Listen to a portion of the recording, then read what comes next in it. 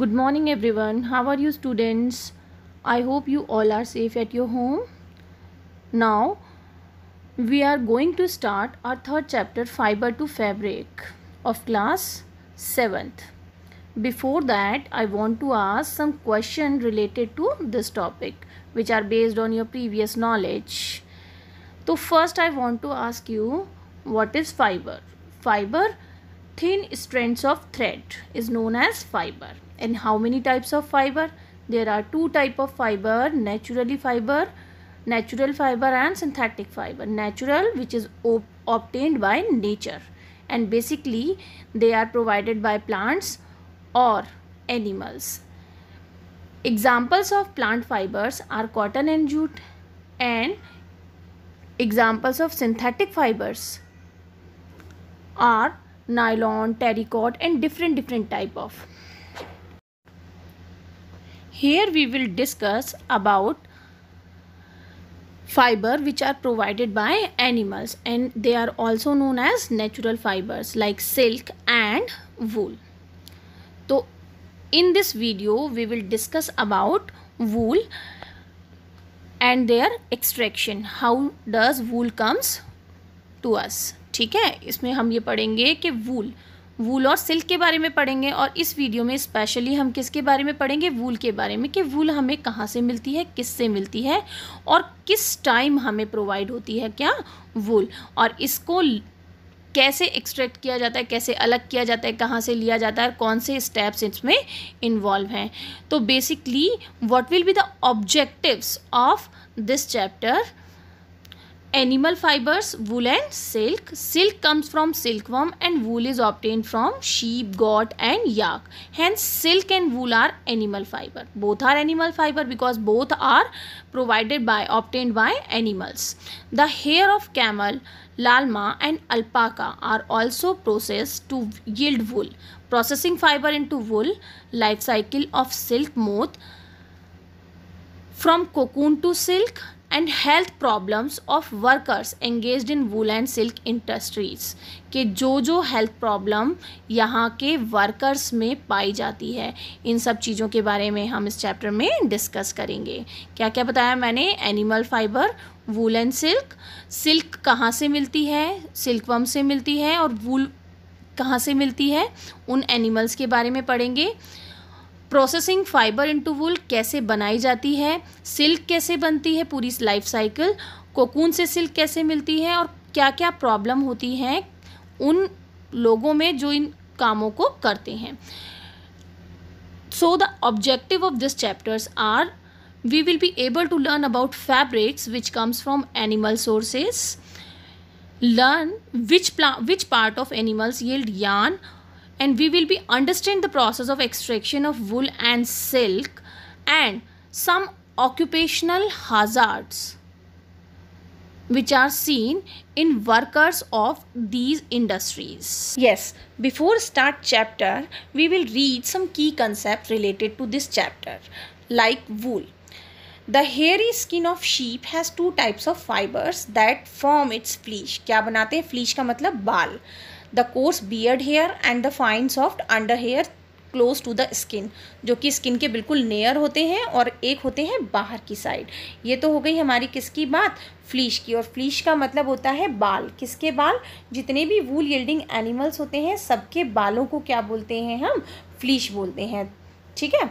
Next की concept is selective breeding selective breeding का मतलब क्या है कि ऐसे पेरेंट्स सेलेक्ट किए जाते हैं जिनके जो बच्चे होंगे ऑफ़ स्प्रिंग होंगी, वो भी कैसे होंगे? उन्हीं के जैसे कैरेक्टर्स वाले होंगे। यानी कि उनके हेयर भी कैसे होंगे? सॉफ्ट होंगे। उस टर्म को बोलेंगे हम selective breeding like some breeds of sheep possesses only fine under hair जिनमें खाली फाइन अंडर हेयर होते हैं their parents are specially chosen to give birth to sheep which have only soft under hair. This process of selective parents for obtaining special characters in their offspring is termed as selective breeding. Now we will read next key concept of wool. Bulk of wool production worldwide comes from sheep more than 95% and in India sheep is reared mainly in hilly regions of Himalayas and plains of Haryana, Punjab, Rajasthan and Gujarat. Now I am going to tell you some breeds and their qualities of wool and states which where they found. First one is Lohi which provide good quality yield and mainly found in Rajasthan and Punjab. Next one Rampur Bushire brown fleece and found in Uttar Pradesh Himachal Pradesh Nali it provides carpet wool and found in Rajasthan Haryana and Punjab Bakharwal for woollen shawls and found in Jammu and Kashmir Marwari responsible for coarse wool and found in Gujarat whereas Patanwadi for hosiery and found in Gujarat state तो these are some breeds which are yielding wool and कहाँ कहाँ ये मिलती हैं? ये हमारे यहाँ states भी दिए हुए हैं. Now we will read about animals that yield wool yak yak wool is common in Tibet and Ladakh and angora wool is obtain from angora goat which is of high quality and very smooth feel found in hilly region such as Jammu and Kashmir Now next animal wool is also obtained from goat hair.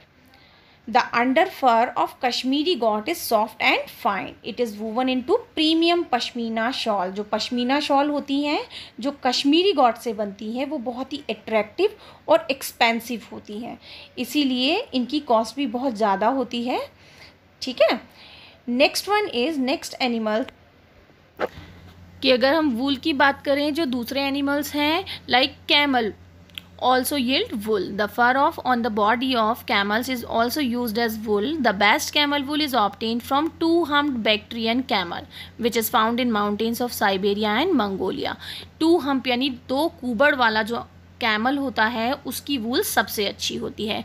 Next one is llama. Llama and alpaca found in South America and they also yield wool so there are different different animals which we have seen in previous slides gives wool to us. They all are gives wool to us. Now we will discuss the steps which are involved in wool production, wool formation, rearing of sheep यानी कि sheep पालन India is an agricultural country where domestication of cattle plays an important role in the life of farmers and effects of economy of the country यानी कि basically जो farmers हैं, वो ही क्या करते हैं? इन चीज़ों को, यानी कि इन एनिमल्स को पालते हैं। For obtaining wool sheep are reared wool obtain करने के लिए शीप्स को पालना पड़ता है। Their hair is cut and processed into wool rearing of sheep involve proper planning for shelter and taking care of its basic hygiene it also involve providing sheep proper nutrition and preventing diseases sheep is reared in Jammu and Kashmir Himachal Pradesh Uttaranchal Arunachal Pradesh and Sikkim और in the plains of Haryana Punjab Rajasthan and Gujarat यानी कि main जो states हैं, वो यही हैं जहाँ पर शीप्स को बहुत बड़ी संख्या में पाला जाता है, बहुत बड़े नंबर में पाला जाता है और किसके लिए? कमर्शियल पर्पज से, यानी कि उनसे वूल ली जाती है।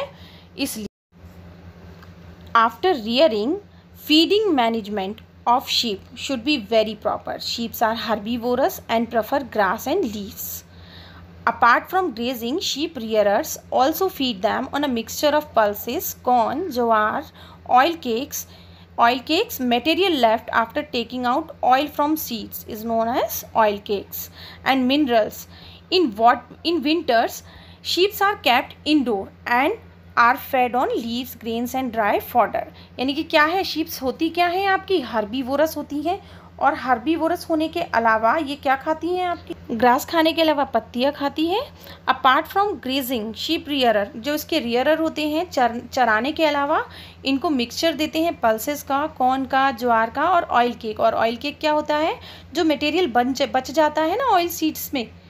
सीड्स के बाद वो एंड मिनरल्स और मिनरल्स और जो विंटर्स होता है विंटर सीज़न में इन्हें अंदर रखा जाता है, और पत्तियाँ खिलाई जाती हैं ग्रेन खिलाए जाते हैं, और और सूखा चारा खिलाया जाता है। तो ये एक प्रॉपर तरीके का फीडिंग मैनेजमेंट होता है शीप्स के लिए।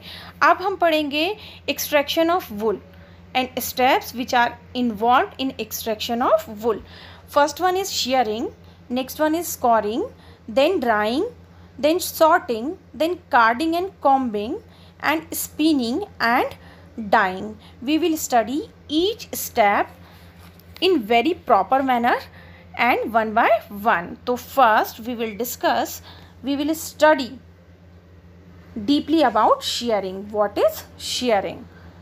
So what is shearing? Shearing. It is a process of removing of fleece of the sheep along with the thin layer of its skin. It is done manually with a large razor or with shearing machine.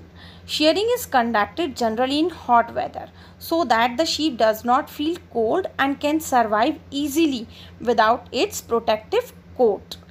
What is protective coat? Hair.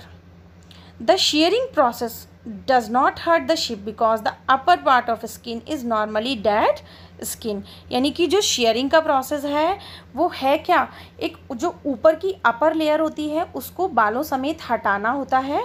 एक बड़े बड़े जो razor's आते हैं उनसे ये process किया जाता है या फिर मशीन्स भी आती हैं इनके लिए। फिर क्या है हमारा कि जनरली ये जो प्रोसेस है शेयरिंग का प्रोसेस वो कैसे वेदर में किया जाता है? गर्म मौसम में। क्योंकि गर्म मौसम में उन्हें बालों की ज़रूरत नहीं होती। जो हेयर होते हैं, वो एक प्रोटेक्टिव कोट का काम करते हैं सर्दियों में, यानी विंटर में उनको प्रोटेक्ट करते हैं। और गर्मियों में इस चीज़ की, यानी बड़े बड़े हेयर्स की कोई ज़रूरत होती नहीं है।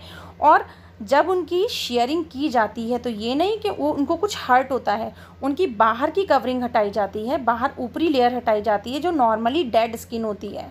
इसीलिए कोई भी परेशानी नहीं होती, कोई दर्द नहीं होता during shearing next step which we will discuss that is that is scouring it is a process of removing dirt grease and dust from the sheared skin along with the fleece of the sheep. It can be done manually as well as with the help of machines. And some chemicals as well as detergent are used in this process. In which process obviously scoring और scoring में होता क्या है इस process में क्या किया जाता है इस प्रोसेस में डर्ट और ग्रीस और जो डस्ट होते हैं जो शेयर्ड स्किन पे होते हैं उनको क्या किया जाता है अलग it can be done manually इसको वॉश किया जाता है प्रॉपरली इन हेयर्स को वॉश किया जाता है और सम केमिकल्स कुछ केमिकल यूज़ होते हैं, कुछ डिटर्जेंट यूज़ हो सकते हैं। कुछ इस प्रोसेस में हम कुछ भी यूज़ कर सकते हैं, क्योंकि यहाँ वॉश किया जा रहा है। And next process is drying अब जब हमने उसको वॉश कर लिया तो उसको सुखाना है। ड्राइंग में क्या होता है? After scouring wet hair are then dried in the sun by keeping them on sheets और ऑन आ ड्राइंग रॉक्स या तो सूखे पत्थरों पे रखा जाता है, या शीट्स पर रखा जाता है डायरेक्ट सन की रोशनी में। इस प्रोसेस से जो हमारे स्कोरिंग में गीले हुए हैं वो हेयर, फ्लीश, उनको क्या किया जाता है? ड्राई किया जाता है। अच्छे से सुखाया जाता है, डायरेक्टली या तो सन की रोशनी में। Next process is sorting. This process involves the grouping of wool. According to its texture यानी कि यहाँ पर सॉर्टिंग छटाई की जाती है उनकी बनावट के हिसाब से। जिस तरीके के वो हैं, उसके हिसाब से उनको अलग अलग रख लिया जाता है। Sorting is done by the sorters sorters ये काम करते हैं सॉर्टर्स यानी कि छाँटने वाले workers quality of wool is decided according to the length texture colour scale structures and fineness यानी कि ये लंबाई पर टेक्सचर बनावट पर, उनके कलर्स पर स्केल स्ट्रक्चर्स पर, और कितने पतले हैं, कितने मोटे हैं, उस बेसिस पे इनकी क्या की जाती है? सॉर्टिंग सॉर्टिंग करने के बाद next process next step which comes is carding and combing during this process Fibers are passed through rollers which make fiber smooth and straight and changes the fiber into a flat sheet called web. In this process, long fibers are separated from sorters one and tangles are removed. इस process में क्या किया जाता है rollers rollers क्या करते हैं? Smooth बनाते हैं फाइबर्स को और सीधा करते हैं और उनको चेंज कर देते हैं फ्लैट शीट्स में, यानी चादरों की फॉर्म में उसको कन्वर्ट कर देते हैं किसको? फाइबर्स को। और इस प्रोसेस में जो बड़े बड़े फाइबर्स होते हैं, उनको अलग कर लिया जाता है और छोटों को क्या कर लिया जाता है? अलग कर लिया जाता है। और इस दौरान इस ड्यूरिंग दिस प्रोसेस जो छोटे छोटे टेंगल्स निकलते हैं जो आ, हमारे कई बार कपड़ों पे रोए बनकर सामने आ जाते हैं उनको भी क्या कर दिया जाता है? यहाँ से अलग कर दिया जाता है रिमूव कर दिया जाता है। तो कार्डिंग और कॉम्बिंग का मतलब यही है इनको अलग करना। Now now next process is spinning in spinning fibre are fibres are stressed and twisted to make them strong and change into yarn यहाँ पर फाइबर्स को ट्विस्ट किया जाता है, मिलाकर बड़ा बड़ा बनाया जाता है स्ट्रेच करके और यान में कन्वर्ट किया जाता है। These yarns are wound onto bobbins और इनको किसमें रैप कर दिया जाता है? बॉबिन्स में। बॉबिन्स डायरेक्टली मशीन्स में लगती हैं, जहाँ पर क्या होता है? वीविंग से कपड़े बनाए जाते हैं। After that we will see next topic next step dyeing in this step the fibers are dyed into different color and according to dictates of fashion and demand dyeing can be done at two different stages if dyeing is done after scoring then it is called dyed wool and if dyeing is done after it is spun it is called yarn dyed यानी कि अगर पहले हो जाए scoring से तो उसको died वुल बोलते हैं और स्पन बुनाई के बाद हो धागा बनने के बाद हो तो क्या कहलाती है वो कि धागा यान डाइड कि उसका धागा डाई हुआ है। तो इसी वजह से हमें डिफरेंट डिफरेंट कलर की वूल देखने को मिलती है। नहीं तो जो नेचुरल वूल है, उसके एक या दो ही कलर होते हैं। ये बात है हमारी किसकी? डाइंग ऑफ़ वूल की। Now next step knitting and weaving wool can be changed into fabric by two processes called knitting or weaving we get sweaters after knitting and we get woolen clothes carpet after weaving तो weaving और knitting दोनों ही बुनने के process है बुनाई के process है लेकिन दोनों में एक ही डिफरेंस है knitting में एक सिंगल थ्रेड चलता है सिंगल थ्रेड काम में आता है लेकिन वीविंग में दो थ्रेड काम में आते हैं तभी वो क्या बनता है आपका कारपेट और आपके जो वुलन क्लोथ्स हैं, ये कौन से प्रोसेस से बनते हैं आपके वीविंग प्रोसेस से? And sweaters can be made only by knitting now some correct we will see some characteristics of wool wool does not wrinkle easily wool can trap lot of air which not allow heat to escape it can absorb moisture up to one third of its weight without losing its property if we will burn wool यानी कि एक special quality है, अगर हम wool को जलाते हैं तो इसमें जो स्मेल आएगी, वो कैसी आएगी? जले हुए बाल की जैसी। It has good elasticity and resiliency इसकी जो क्वालिटी है, वो क्या है आपकी?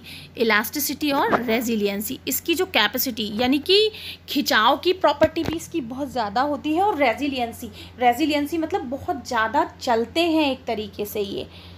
रेजिलियंसी मीन्स अपने आप को रिकवर करना क्विक रिकवर करना। तो ये क्या है हमारे these are some characteristics now we will read about occupational hazard which occurs in workers of wool industry the risk of illness problem of accident faced by the workers in an industry are called occupational hazard some occupational hazards are sorters get infected sorters workers which are working in wool industries.